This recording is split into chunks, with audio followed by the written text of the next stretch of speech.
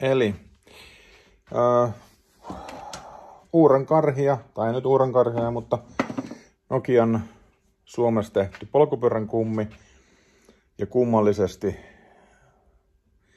kulunut puhki tuolta vanteen ja kumin välisestä saumasta. Ja tuota, mäpä näytän teille.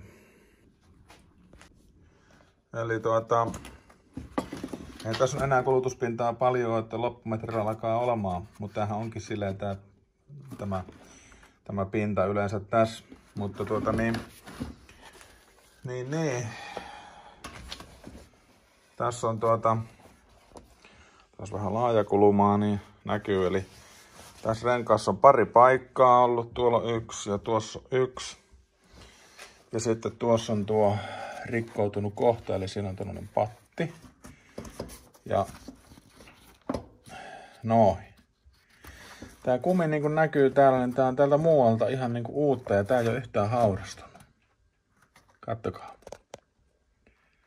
Ei ole yhtään haurastunut, ei mistään. Tää on ainut paikka, mistä tää on rikki.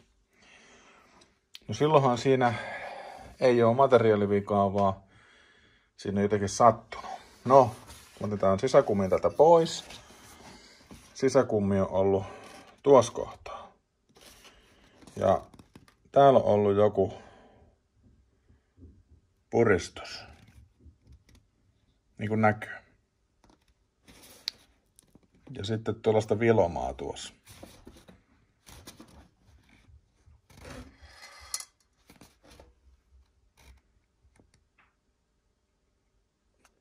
Siinä niin.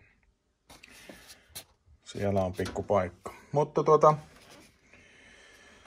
mä epäilisin, että siinä on nyt käynyt sillä lailla, että tuo on tainnut tuo edellisen kerran, kun täällä on käynyt tätä kummia tässä tarkastelemassa paikkaamassa, niin siinä on käynyt sillä lailla, että tätä, tätä kummia on jäänyt tänne vanteen ja tämä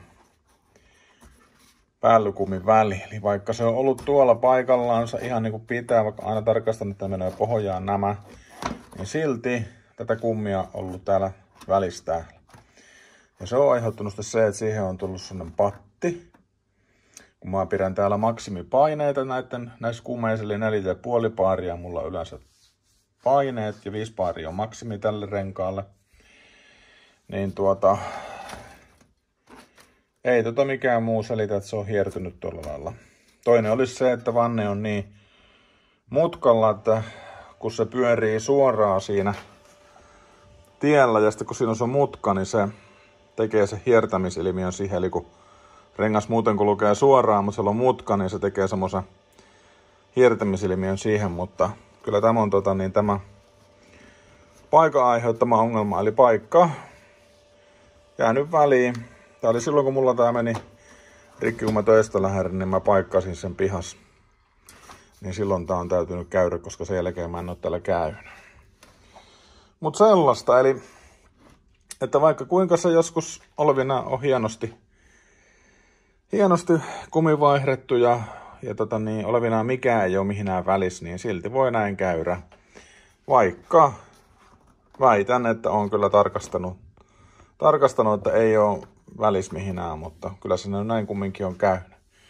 Eli ihan vaan neuvoksi, että kun käyttää tämä sisäkummia korjaamassa, niin olkaa aina sata varmoja, että sisäkummi ei jää tuon pinhuusiin tuonne vanteen ja päällykumin väliin.